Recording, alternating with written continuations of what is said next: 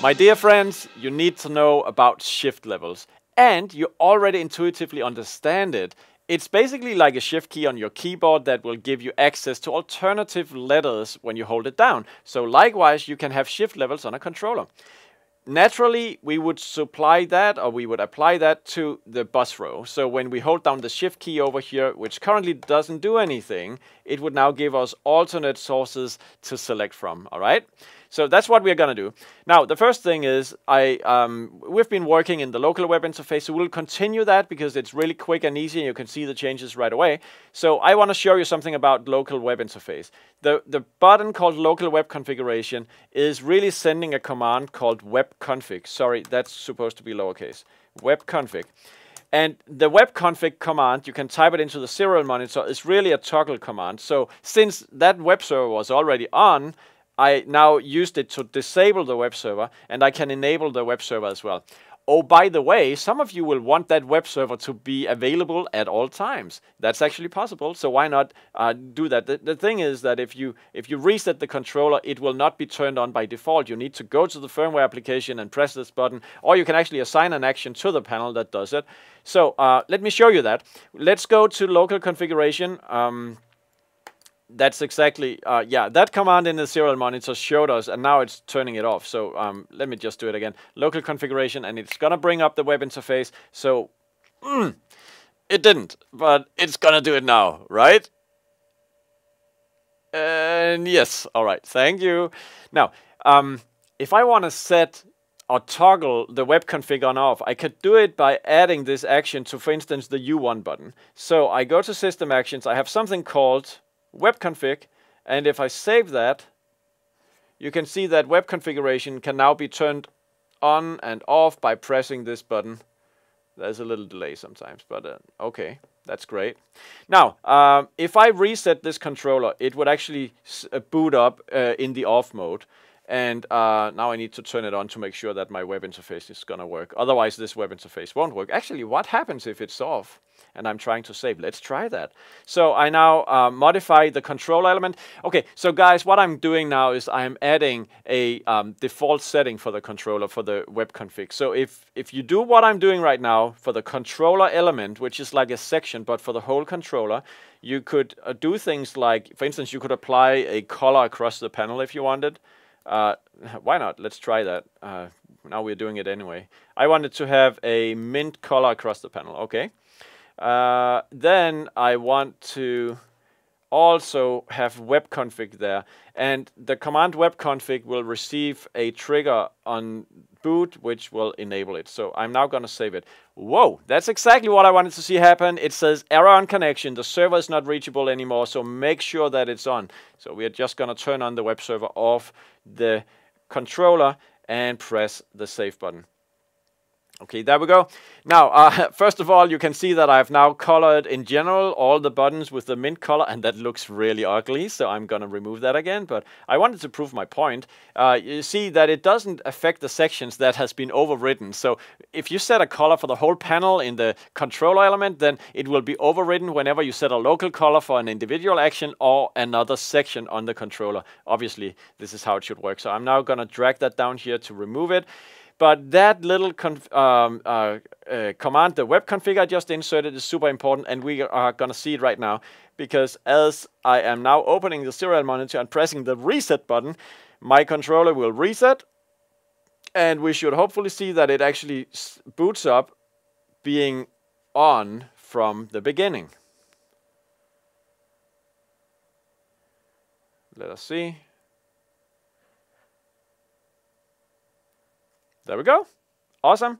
And I'm going to remove that little action. Oh, you can see it in the serial monitor as it started. You can see, let me just remove auto scroll, starting web server for configuration on that IP address. So this is how you know it actually works. I'm just going to remove that action from that one, get out of there, and back on track. So shift levels. Finally, I'm sorry about that little um, intermezzo, we want to apply shift levels for this. First of all, the shift key should uh, toggle, or while we hold it down, it should access shift level 1 and then fall back to normal when I release it again. So I'm, I'm now finding a system action called uh, shift level. That's the first one. Super important action. Shift level. I want it to go to level one and I want it to be hold down and save. So now as I press the shift key, you can see the key is lighting up like if it's doing something. But the thing is that it is not affecting any of this because nothing on the bus row has been programmed so far to respond to a change in shift level. But we are going to change that. Let's take the first key. So the first key right there, we want that to respond to shift, meaning that we are going to add an action and we will um, select program preview source and let it be, let me see, uh, what should it be? It should be, since we have only an 8 input switcher, it's kind of limited what we can actually do, but let's just select color bars. Okay. Uh, obviously, it would be much better if we had a 20 input version, but this is an 8 input. Now, the important thing is I am going to change this modifier. I mean, we've been doing this before. When you add multiple actions to any element, by default, you will have both actions executed. The first one and then the next one. So right now, it's actually going to do something which is conflicting because first it's trying to uh, select input number one on preview and then immediately after it's going to select color bars. Doesn't make sense, right? But the point is that if I change this modifier instead of and to or, which is the same as shift, what we're essentially telling the system is that the first action will be the, the normal one, but when I hold down the shift key, setting shift level 1, it's to execute the second action. Let's see it in action. Press save. Notice this button. Nothing happens yet, but when I press the shift key, when I press the shift key and hold it, it's saying bars. Okay, I can put bars on. Let's see if it happened in the ATEM software. Let's go over, over here. Uh, yes, bars is on, on, on preview. And now I press here and we go back to camera one. I hold down shift, bars, it's all good. But it's only this button that changes. So we want to have some of the other buttons do stuff as well.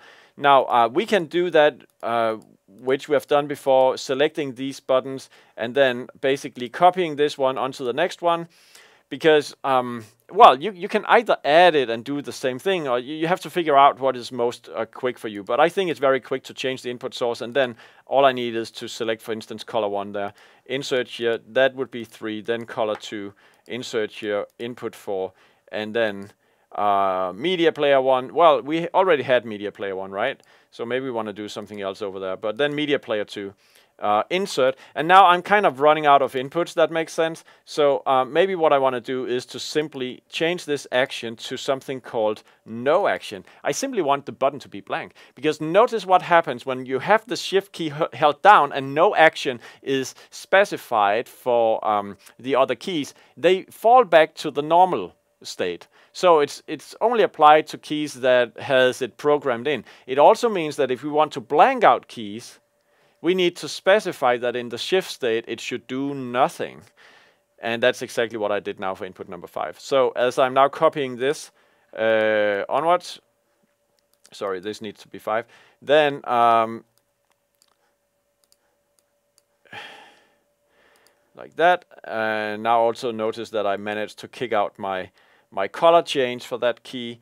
Um, so we would need to add that. I need to add local color again rows and then I'm going to drag it up here so I can also reorder actions quite easily. By the way, it doesn't matter where you put a local color.